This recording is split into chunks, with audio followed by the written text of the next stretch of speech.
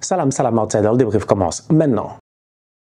Manchester United, Liverpool, Manchester City et Tottenham ont joué aujourd'hui. On va d'abord commencer par Liverpool qui a gagné 3-1 face à Wolverhampton. Une première mi-temps très compliquée pour les Reds. Et le, dès le début du match, on l'a vu. Je l'ai dit ici en début de saison. Cette équipe de Liverpool-là, offensivement parlant, elle a des joueurs. Ça, nous tous, on le sait. Diogo Jota, Mohamed Salah, Luis Diaz, Darwin Nunez. On en parlera. Cependant, il y a un autre problème dans cette équipe de Liverpool-là. C'est qu'on ne peut pas enlever le fait que durant le mercato, ils ont perdu deux joueurs très importants deux numéros 6. Ils ont perdu Fabinho et Henderson. Ils ont perdu, je répète encore une fois, Fabinho et Henderson. McAllister est un très bon joueur, mais McAllister est un joueur qui aime se projeter. McAllister aime jouer vers l'avant. Aujourd'hui, mettre McAllister devant ta défense, ça ne fonctionne pas. Premier match de la saison de Liverpool, McAllister a pris un carton rouge. On était là. On était là. Il a pris un carton rouge. Heureusement qu'après, oui, on sait que c'était pas un rouge qui était légitime. Heureusement, ils se sont gérés. Ils le lui ont enlevé. Mais on l'a mis dans une situation qui est dangereuse. Aujourd'hui, on joue le match. Même pas cinq minutes de jeu, il a déjà un carton jaune. Pourquoi? Parce qu'encore une fois, il est dans une situation qui est dangereuse. McAllister doit doit, doit normalement être ce numéro 6 là, être en rétention, être devant la défense. Dès qu'il perd le ballon, ils sont foutus. Dès qu'il est mis sous pression, ils sont foutus. Et cette équipe de Wolverhampton là, dès le début du match, ils l'ont compris, ils ont mis la pression sur lui. Donc ça a donné un Pedro Neto qui est sur le côté, qui s'amuse, un Joe Gomez qui ne se gère pas mais il prend des petits ponts là-bas. Franchement, Neto était là en train de dribbler les gars à gauche et à droite comme du n'importe quoi. Ça te donne aussi une équipe de Liverpool qui, malheureusement, en l'absence de Virgil van Dijk, tu sens que défensivement parlant, il n'y a pas cette solidité-là. Et nous tous, on sait que Liverpool, même quand Van Dijk il est là, c'est pas forcément l'équipe la plus solide défensivement, même si Allison il se gère dans les buts. Donc du coup, tu as une première mi-temps très compliquée pour Liverpool. Mais pendant tout ce temps-là, Wolverhampton, il concrétise pas. Parce qu'il y a des tocards comme Cunha qui sont là sur le terrain. Au lieu de claquer des buts, ils ne se gèrent pas. Franchement, Liverpool aurait dû encaisser au moins deux buts. Au moins deux buts en première mi-temps. Ça n'a pas été le cas. En deuxième mi-temps, Klopp, il a compris. Il sort McAllister, il fait rentrer Luis Diaz. un surnom offensif et automatiquement, l'équipe commence à dérouler. Ça fonctionne. Cody Gakpo est là. Mohamed Salah à la passe décisive. Top performance de la part de Mohamed Salah. D'ailleurs, il faut en parler. C'est le meilleur joueur africain, je pense, qui a joué en première ligue. Mais beaucoup de respect pour tous les tontons, les Drogba, tout ça. Mais c'est que Salah, il enchaîne les stats. En fait, Salah, dans une période numérique, dans une période de chiffres, lui, on peut même pas discuter avec lui. En fait, tu discutes juste, il sort les chiffres. Après, tu te dis, OK. Après, ça devient subjectif.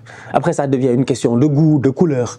Mais comme ils disent les latins, des gustibus et coloribus non c'est disputandum, je pense. Donc les goûts et les couleurs ne se disputent pas, ne se discutent pas, voilà. Chacun ses goûts, chacun ses couleurs. Donc voilà, mais statistiquement parlant, que veux-tu en termes de chiffres? Meilleur passeur africain de l'histoire de la première ligue, meilleur buteur machin de l'histoire de la première Mais il est trop fort. Il est trop fort le Mohamed Salah. Il claque but sur but. Et là, ces temps-ci, il donne des passes décisives. Il est devenu gentil. Il est devenu sympa, franchement. Il est en train de donner des passes. Des... Il est très dans le collectif. Un Mohamed Salah, franchement sensationnel. Euh, il y a absolument rien à dire. Des boys offensivement aussi qui sont très bons, qui sont dynamiques, vous-même vous le savez. Donc du coup, une belle équipe de Liverpool en deuxième mi-temps qui s'en sort qui gagne ce match-là 3-1. Wolverhampton peut avoir des regrets, mais encore une fois, un bon début de championnat pour Liverpool. Si je me trompe pas, alors Liverpool, pour le moment, quand même, c'est pas mal. 5 matchs, 4 victoires, un match nul, c'est bien joué pour Klopp. Mais attention au milieu de terrain, parce que je m'inquiète pour eux quand même. En Europa League, ça va aller tranquille. Poser normalement. Mais c'est que le championnat est long. Il y a des équipes qui vont venir et ça va les fatiguer parce qu'ils peuvent pas continuer comme ça. Bayetic est de retour sur le banc, on va voir, mais tu as besoin d'un vrai gars en rétention. Donc, euh, à suivre. Manchester United s'est fait taper à domicile 3-1 par Brighton. Alors ça, franchement, on va aller directement dans le vif du sujet. Mais Ten Hag, Ten Hag, Ten Hag. Mais Ten Hag, il fait quoi là? En fait, il fait quoi? Là, il est vraiment en train de devenir un tocard. Là, il devient un tocard. Là, il devient, là, il rentre dans le tocarisme. Là, là, on vient de rentrer dans une nouvelle ère à Manchester United. Je pense dans l'ère du tocarisme. Prochain match, c'est face au Bayern. Ils vont jouer face au Bayern à l'Alliance Arena, les Hurricanes, tout ça. Mais le Bayern, vous les connaissez en Ligue des Champions, ils sont capables de mettre 5-0 comme ça. C'est pas Bayern de, ils peuvent mettre 5-0 comme ça. Mais United, une défense passive, nulle. Tu me diras, Brighton, ils sont forts. Ok. Deuxième victoire, encore une fois, parce que l'année passée aussi, ils les ont tapés. Brighton qui retape Manchester United. Ok. Welbeck qui remarque. Ok. D'accord, tout ça, on est d'accord. Mais de où est-ce qu'ils sont aussi passifs défensivement? De où est-ce que Casimiro, il accepte cela? En fait, lui-même, c'est le, un des plus nuls. Mais d'où il accepte ça? Mais c'est faible. C'est faible. Lindelof, c'est faible. Lisandro Martinez, le Pascal Gross a fait même pas une feinte. En fait, Pascal Gross, il a juste dit, attends, donne-moi juste le temps de réajuster un tout petit peu. L'autre, Lisandro, il est parti, il est retourné en Argentine. Il a cru que c'était déjà la trêve internationale du mois d'octobre. Mais calme-toi! Mais franchement, une performance tocaresque à domicile, en fait. Et après, c'est parce que, et après, c'est pour que leur coach vienne nous dire que, ouais, il méritait de gagner face à Arsenal. Dans quel monde? Vous voyez, on commence à être impoli. Mais parce que vous ne gérez pas, parce que votre coach, il parle comme s'il avait...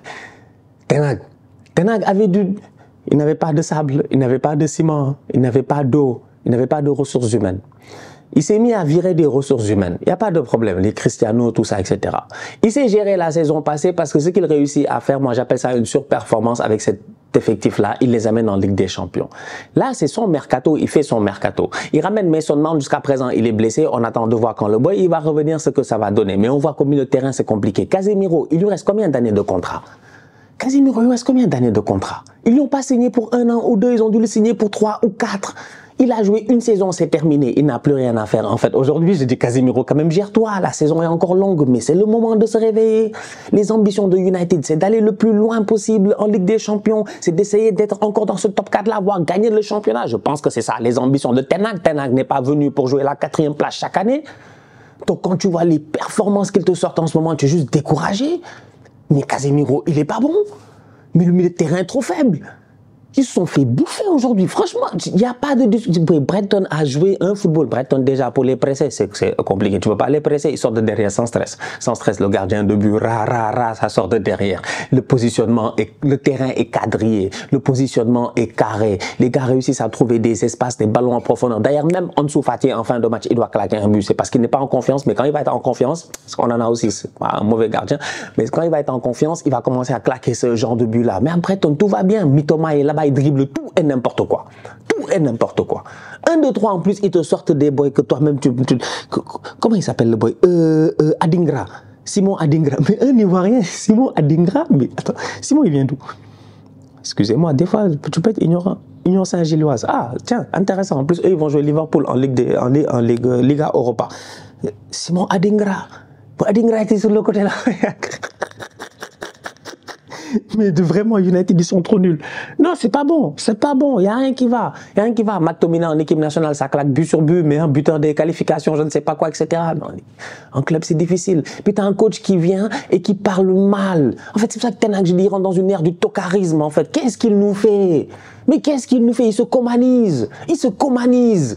Mais on parle pas comme ça, en fait.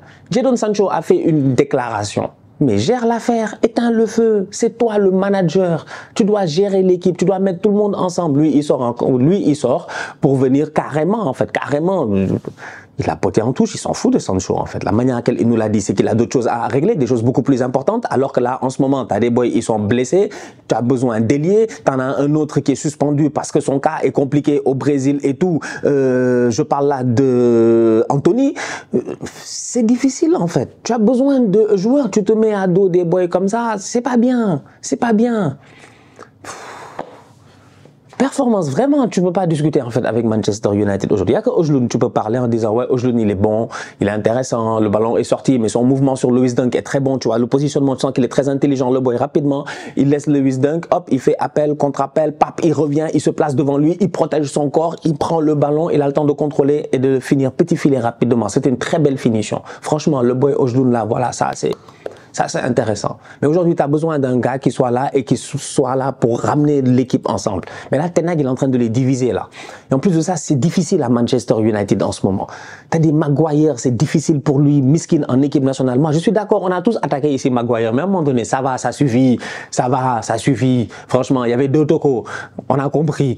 Mais même moi-même, je suis comme Maguire et puis toute sa famille, en fait. Laissons le gars tranquille, quoi. C'est bon, ça suffit. La session de vente sur Maguire, je la déclare terminée. Laissez-le tranquille, oh.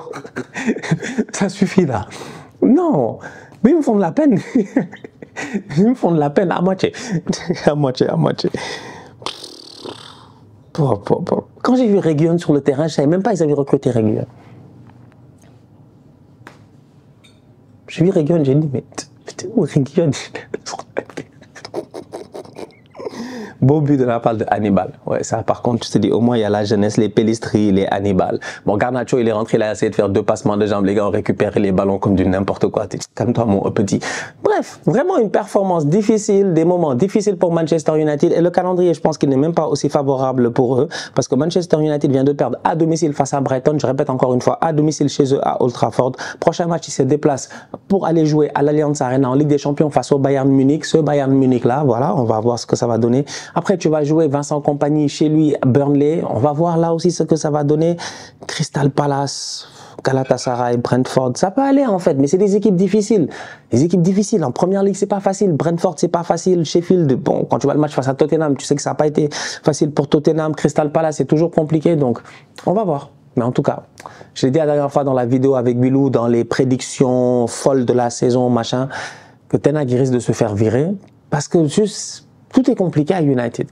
Ça parle toujours, ouais, c'est les Glazers, c'est la direction, c'est les Glazers, c'est la direction. Mais en fait, tout est compliqué à United en ce moment. Donc, à suivre.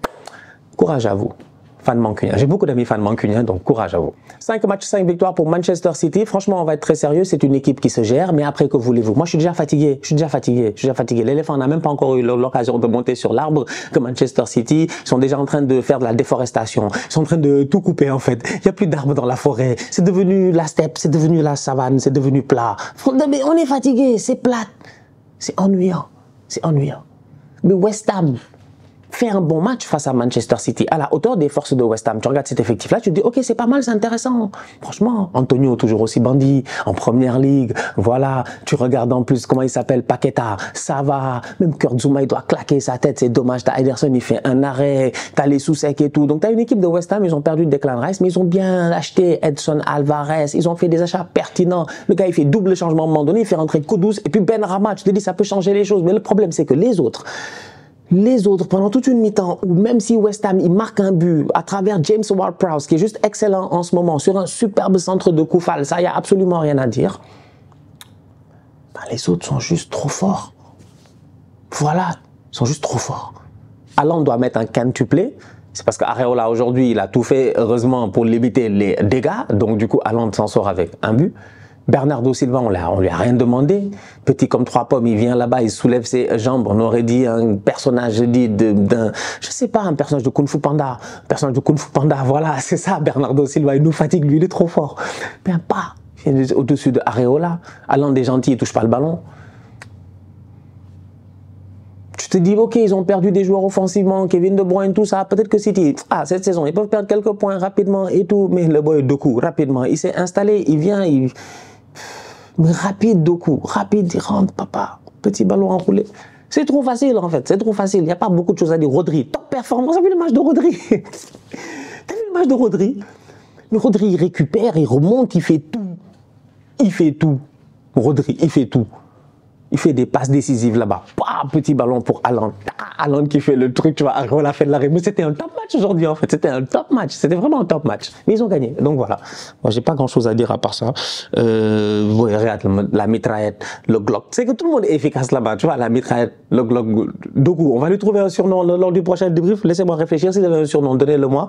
Il a trop de bandits. Pur, il a trop de bandits. Kyle Walker est resté aussi. Bon, bref. Voilà.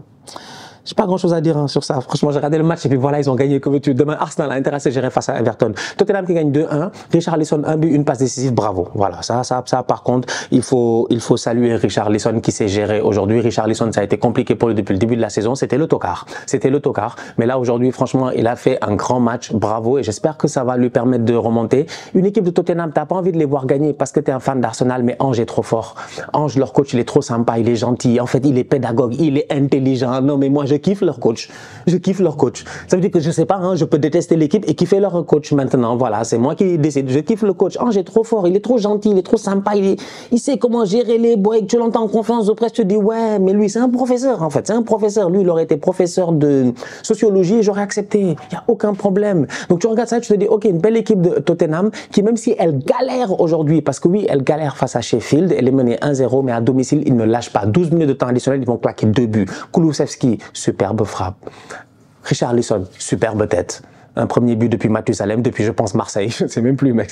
Comme le but qu'il a mis face à Marseille. Donc Richarlison qui se relance. Donc on va voir Tottenham cette saison, mais pour le moment, ça marche bien pour les euh, Spurs. Leur coach a été élu euh, euh, coach du mois. Le Madison a été élu joueur du mois. En fait, ouais, que voulez-vous?